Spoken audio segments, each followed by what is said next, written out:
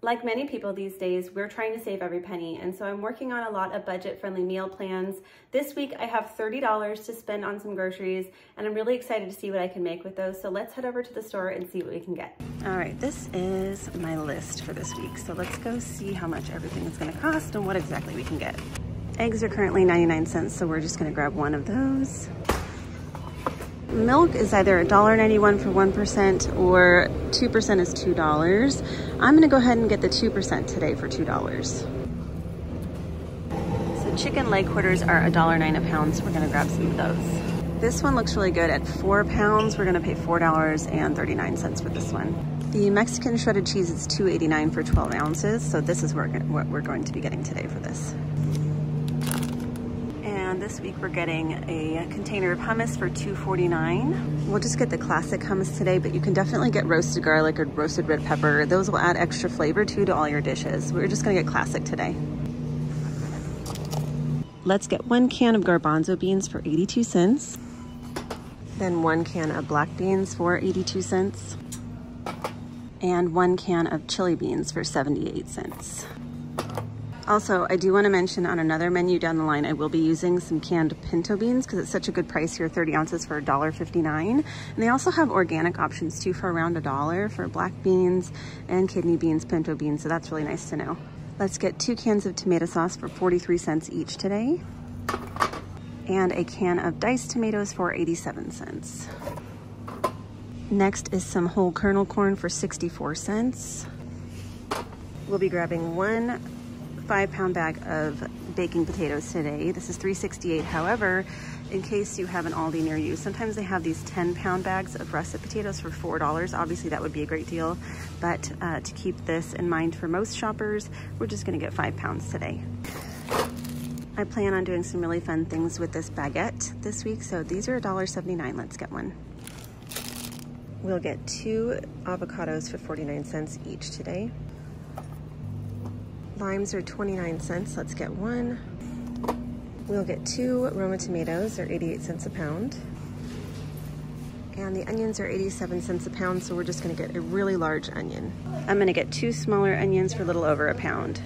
And now I'm gonna get one cucumber for 59 cents and a bag of spinach for $1.28. Then let's get one bag of organic quinoa for $3.49.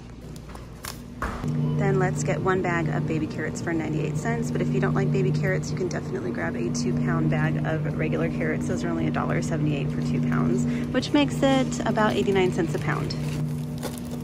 Here is everything that we're getting today. Let's go see what the total is. Our total today is $32.05.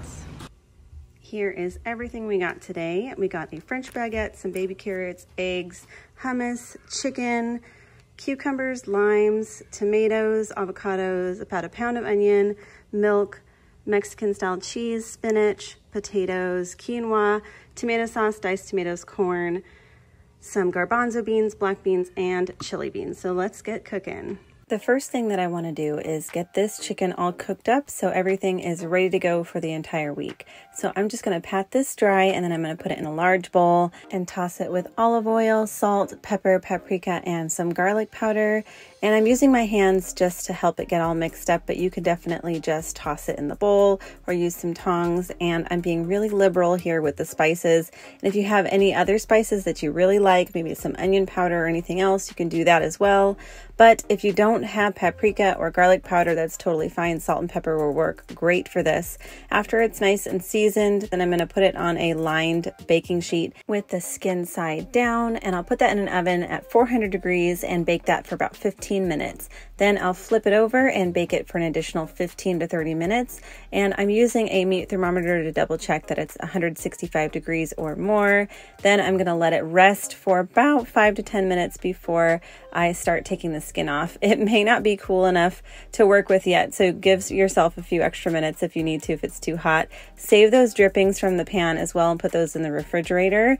Once those are cooled down, the fat is gonna separate from the drippings. You're gonna take the fat off and discard discard it and just keep those drippings in the fridge for later. We're going to use that for lots of things. Shred the chicken and have it all portioned out. Save the bones and the skin in an airtight container and put that in the freezer as well. We're going to use that later. This first dinner idea is one of my all-time favorites. It's chicken and quinoa bowls. First, we're going to start by making that quinoa in a separate pot. I usually recommend about a cup of quinoa to one and three quarters cup of water and see how that goes. But the instructions on the back of the bag will let you know what exactly they recommend. So you can try that first and then add more or less water as you go.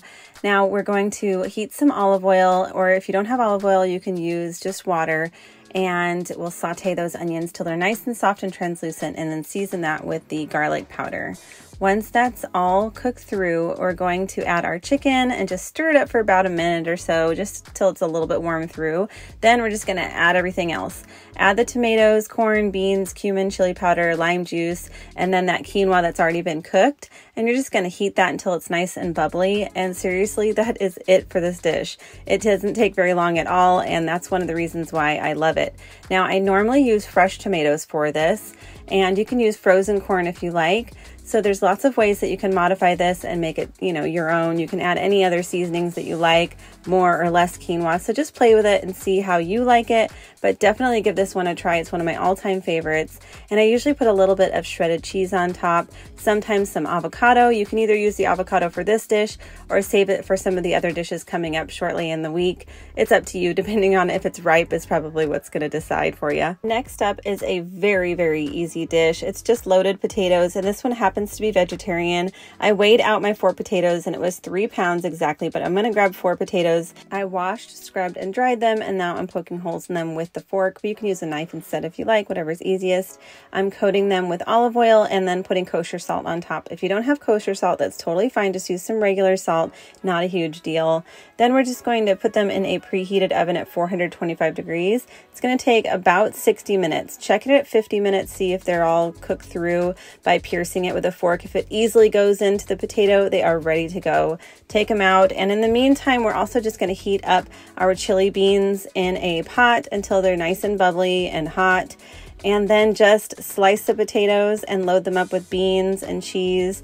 And this one's really fun to modify too. You can add anything that you have, some hot sauce. If you have Greek yogurt or sour cream on hand, you can add that. I love this dish because it's so flavorful and so filling and it only uses a couple ingredients. So definitely put this one on your budget menu because it's definitely a keeper. I mean, look how delicious this was. My mouth is still watering. I need to make this again pretty soon because it was so good. Next up is a super easy and delicious breakfast idea. I call this one the cheesy egg and potato bake, and it makes about four to six servings. First, I'm going to peel my potatoes, but I'm saving the potato skins for later. We're going to put those in the freezer and we're going to keep those for later. So hang on to those.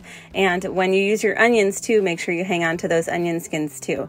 And I'm just going to dice up these potatoes in little bite-sized pieces, cover with cold water and put salt and let those boil for about 12 minutes until they're nice and cooked through. Then I'm going to whisk up my eggs with the milk and some salt and pepper, garlic powder, and get that all mixed together and set that aside. The seasonings in the egg mixture really make this dish, so don't go light on the seasonings. And if there's any other seasonings that you like, add them now because this is really what's going to make a lot of the flavor in this dish. Now we're going to put our cooked potatoes down in this casserole dish here, top it with the eggs, then top it with some shredded cheese, and cover it with some foil and put it in the oven for about 25 to 30 minutes until the eggs are nice and cooked through. And that is it for this one. Super easy, super fast. You can also wrap these individual portions in tortillas if you have any on hand or eat it as is like I did. It was delicious. This next dinner idea is really nice and light and it would be a really good lunch option as well. So that is something to think about. First, I started by cooking my quinoa and then I let it chill in the refrigerator until it was cooled completely. Then in a small mixing bowl, I added my hummus, olive oil, water, and salt and mixed that together. Make sure you taste it and add more salt as needed. A lot of times we don't add add as much salt in our dishes here in this household. So sometimes it definitely needs a little bit more flavor for other people. So make sure you taste it. And now we're adding some spinach to a really large bowl. It's about three large handfuls of the spinach we got. I'll add my cooked quinoa, cucumber, tomatoes, avocado, and that hummus dressing. Just give that a good mix. And that's it for this one. Now, after it's portioned out in bowls, definitely give it a taste and see if it needs a little more salt and pepper or anything else that you might have on hand that you want to add. Now, moving on to our next dinner idea. This is Spanish style chicken and quinoa with cheesy garlic bread. This is the part where I do something fun with that baguette. First, I'm going to start by heating some oil in a pan. If you don't have oil, again, you can just use water. I'm adding my quinoa and my onions just to toast the quinoa and cook those onions until they're nice and soft and translucent. Then I'm just going to add my chicken and saute for about a minute. After that, I'll add water, tomato sauce, chili powder, garlic powder, cumin, and give that a stir. Then I'll just bring that to a boil, cover, reduce the heat, and let that simmer for about 20 minutes or until the quinoa is fully cooked through. Then I'm just going to take it off the heat and let it rest for about five minutes. While that's simmering away, we're going to go ahead and make our cheesy garlic bread on the side. So first I'm going to start by grabbing that baguette that we got. We're going to slice that in half. I'm going to save half of it for later. So I'm just going to use half for this recipe. I'll slice it in half again so I have two long pieces that are cut. And in a small bowl, I'm going to mix together my softened butter, parsley, and garlic powder until it's really nicely combined. Then I'm going to just spread that butter mixture on top of my bread. And today my daughter is helping me with this and it's super fun for the kids. So if you've got your kiddos helping you in the kitchen, definitely have them help with this one. It's super fun. After we finish spreading that butter on really well, we're going to add our shredded cheese on top. Now I'm just going to broil this after that on a nice line baking sheet for about five minutes until everything is nice and bubbly and melty and it's all toasted. But you can also bake it if you don't have a broiler, you can just bake it, or you can even use the air fryer if that's what you'd like. It'll work great. Just make sure you slice it into smaller pieces if you have to. But look how delicious. And this Spanish style quinoa turned out really tasty, but I do recommend again tasting it and adding more salt if needed or some hot sauce or anything else to just zhuzh it up a bit. Some shredded cheese on top is amazing on this one. Definitely add that too. Next, I'm going to be doing a little bit of prep work here. I'm just going to separate the carrots. Now, if you see the little tops on the carrots, don't waste those. We're going to put them in the bag with our onion scraps and our potato peels. So just save that for later. So I'm just going to shred half of these and the other half I'm going to slice and just keep in the fridge for later for when I need to use these things. And I'm also going to finish dicing up this onion here and saving the skins and the tops and the root end and everything in my bag of scraps and just dice up this onion for later too because I am going to be making a homemade chicken stock with all of my scraps and the bones and the skin from the chicken. So I'm grabbing those out of the freezer because I didn't know what day I was going to use those. So grab those out of the freezer, put them in a large stock pot, add all of my veggie scraps and fill that with cold water almost all the way to the top. This is a six quart stock pot, so whatever pot you have on hand is fine. Just want to make a ton of stock if possible. Then I'm just going to boil that, but then reduce the heat immediately and put that on a simmer just for about two hours. I don't want to go too long, just enough to get all the flavors out of that. Then I'm just going to remove the big pieces before I strain it directly into my next dish, which is actually a chicken and quinoa soup. So first I'm going to start by adding some oil in a large stock pot and heat that up add the onions. We're going to do about half of that onion for this dish. Then I'll also add in those carrots that I just chopped for this one. I'm just going to saute that until those are nice and soft and the onions are translucent and add a ton of flavor to this dish. Onions are super important. They add lots of flavor, especially to soups. Once that's nice and sauteed through, I'm going to add my chicken stock on top of this. Now make sure if you're doing this that you use a mesh strainer that is heat resistant. I don't recommend doing this if you have one that may be iffy with the plastic melting and all that. Mine was heat resistant, so just be careful. And if you're going to strain your stock, make sure you put a pot underneath. It is the saddest day when you accidentally strain your stock directly down the drain, and we've all done it before. so just fair warning, remember to put that pot underneath. So you can either use a large bowl or another pot to put that stock in first if you like, and then pour it on top of the veggies here in this soup. Now, now I'm just going to portion out a little bit of the chicken I'm using about three quarters of a cup to a cup of chicken here and about three quarters of a cup of quinoa as well. And I'm just going to pour that directly in as well into the soup and just let that simmer for about 20 minutes or so until that quinoa is cooked through. And again, adding the seasonings, the salt, you can add pepper or bay leaves. You can add anything you have on hand for this. Parsley would work good too. Just go nuts. If you have lots of seasonings, add whatever you like. Once that quinoa is cooked through, go ahead and portion it and serve and enjoy. This next recipe is an optional breakfast idea. If you still have baguette left and you want to make a breakfast with those four eggs that you have left on hand, then just fry one up, toast that bread, add some hummus to the bread, and a little bit of spinach, and then add that fried egg on top. A runny yolk is a must for this one, by the way. So if it's not your cup of tea, maybe skip this breakfast and use those eggs for the end of this video. I have a bonus dinner idea using those eggs instead. But I like to add some hot sauce. You can add salt. You can add everything bagel seasoning, whatever you want on top, whatever you have. This one is one of my all time favorite breakfasts. You've got to give this one a try. It's so delicious. Now, this next breakfast idea is a family favorite. It's called cheesy egg and fried potato bowls, and they're so good. First, you're going to start by washing and drying your potato. Then, we're going to peel the skin off. You can save that skin as well and make more vegetable stock or broth later on if you like. Then, I'm going to dice the potatoes here and put them in a bowl and toss them with olive oil, salt, pepper, and paprika. You can add garlic powder too, but I was just feeling the salt, pepper, paprika combination here. So it's totally up to you. Add whatever seasonings that you like or whatever you have on hand. Give that a good toss and season again with salt. The salt is super important here with the potatoes.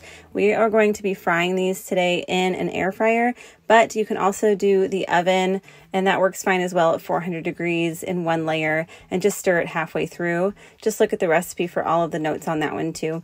Then I'm going to add the four eggs in a bowl with some milk and of course some seasonings again and I'll whisk that up until it's nice and combined and set that aside. And then we're going to head over to the stove and heat a pan and add a little bit of oil or butter. Or again, if you don't have oil or butter, you can just use water. And I'm going to saute the other half of that onion that we chopped from the other day and let that get all nice and soft and translucent. Then I'm going to add more seasonings, just a little bit of salt and pepper. After those onions are cooked through, I'll add a little bit of spinach. I don't want it to wilt all the way down. I just want it to barely wilt. And then I'm going to add my egg mixture on top and scramble those eggs just by pushing them around just on a medium heat until they're nice and cook through and after that, I'm going to check on my potatoes. I have been tossing them every seven minutes or so in my air fryer just to make sure they don't burn and they get a nice, even crispness on the look. Oh my goodness. How delicious are these potatoes? You've got to try these. Then just separate them in the bowls, top with the egg mixture, and of course, add some cheese for that cheesiness that we're looking for. And you can add a hot sauce or salsa or whatever you want, but these are so delicious just like that. This next dinner idea is really easy to modify, and I highly recommend trying this in all kinds of different ways, but today we're making some toasted chickpeas with this one. So first I just drained and rinsed the can, then put it in a little towel, rubbed them all together until all the skins came off the chickpeas. Then I just picked those off and discarded those. After that, I added my chickpeas to a bowl and added the olive oil and my seasonings. I just did salt and pepper, dried basil, and garlic powder. But again, just salt and pepper is totally fine for this one. We're going to put it on a lined baking sheet as well and make sure it's in one even layer. So that way everything is getting nice and evenly toasted in the oven. And we'll stick that in the 400 degree oven for about 30 minutes and we're going to mix halfway through as well just again to make sure everything cooks nice and evenly. And these are going to be really crispy chickpeas. So if you don't like crispy chickpeas you can just eat them you know just heat it up if you like in a um, you know a pan or something like that. So it's totally up to you but the seasoning is super important for this one. It adds a lot of flavor to this particular dish. After that i'm just going to layer all the ingredients in individual bowls. So first i'm going to start by put, just putting a small handful of spinach then some avocado a diced tomato some shredded carrots that we shredded the other day i chopped the other half of that cucumber added that as well plus some cooked quinoa those toasted chickpeas and I did go ahead and add a little bit of that shredded chicken. We had a little bit left, so I just added a tiny bit to this dish just to add a little bit extra protein and a little more flavor and a different texture to this. Then I added some hummus right in the center. You can top your hummus with a little bit of olive oil if you'd like and some fresh cracked pepper and then just eat it. It's so delicious and if there's anything in this you don't like, you can always omit it or put something different. It's totally up to you. This next recipe is the bonus recipe with those eggs. It's a super easy egg drop soup. It's not super authentic, but it's fast, it's easy, and it's budget friendly. So I'm just gonna mix together those eggs and some seasonings in this measuring cup here, set that aside. Then I'm going to set some water to boil in a large stock pot, and I'm gonna add some of those chicken drippings that we saved from when we made that baked chicken and some soy sauce. And again, we like to add a little bit less salt at first, so definitely add more. If you like more, you can add more soy sauce later. And then we're going to bring that to a boil and start stirring. And we're going to continue stirring and adding our eggs at the same time. And we can't stop stirring or we won't get the nice stringy eggs. So keep stirring until all the eggs are poured in. And it's cooking as you go here. And once it's done getting all poured in, they're already all cooked through. Take that off the heat and serve it. If you have green onions, add those on top, or you can even add some of the chopped onion if you have any of that left, and even some chicken if you have chicken on hand still. And that's pretty much it for that bonus recipe. It's really tasty and so easy. I hope you found this meal plan helpful and I hope you enjoyed the recipes. If you made any changes, please let me know in the comments. And if you have any budget friendly meals that you personally love, I would love to hear about them. So leave those in the comments too. I'm always looking for more ideas and subscribe to see more if you'd like because I will have more of these soon. And thank you so much for watching. I hope you have a wonderful day.